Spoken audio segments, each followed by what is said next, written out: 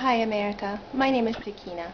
I used to dress up in a rabbit costume for Colgate so that kids would feel encouraged to brush their teeth. In recent weeks, a lot of people have been telling you what to think about Muslims. They say you should fear me. The truth is, I don't want to impose my faith on you. Islam teaches me that any person who strives to do good in this world will be rewarded in paradise in the next. One time my mom's non-Muslim friend told her that she was fasting on Thanksgiving because of what had happened to the Native Americans. On September 11th this year, I will be fasting for the tragedy that occurred nine years ago. I am an American.